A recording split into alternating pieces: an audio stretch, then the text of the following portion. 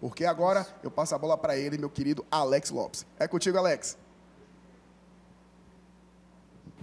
Olá, Léo, Alex, e para você que está acompanhando o Universo, é hora do Minuto On.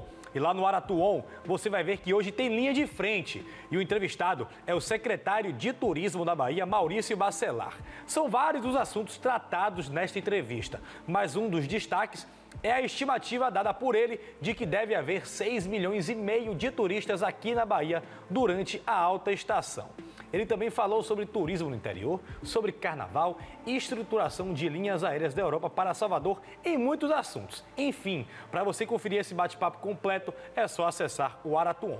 Aproveito também e peço para você se inscrever no nosso canal Linha de Frente lá no YouTube. Curta nossos conteúdos, compartilhe também e fique ligado no Linha às terças e quintas-feiras, que é quando o programa vai ao ar. É isso aí, gente. Léo, Alex, volto com vocês no Universo. É isso aí, Matheus.